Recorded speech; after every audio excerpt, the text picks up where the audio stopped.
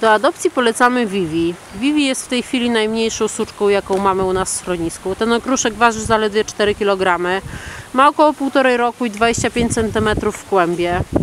E, Dlaczego ktoś pozbył się takiego okruszka, tego nie wiemy. Natomiast wiemy to, że schronisko to na pewno nie jest miejsce dla niej.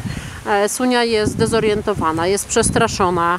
E, Może nie tyle boi się ludzi, ale tego zgiełku i tych wszystkich szczekających psów dookoła.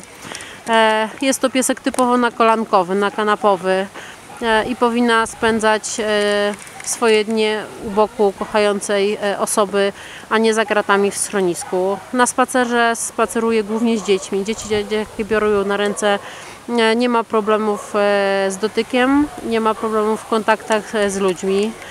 Boi się trochę chodzenia na smyczy. Myślę, że jakby miała zamieszkać w mieście, to na pewno mm, takie życie miejskie byłoby z nią do przepracowania. Ale jest to młody pies, szybko się uczy i na pewno e, ta nauka nie potrwałaby długo. Wystarczy odrobinę spokoju, poczucia bezpieczeństwa, e, kochającej, życzliwej osoby, by jej życie stało się szczęśliwe. Polecamy Vivi do adopcji.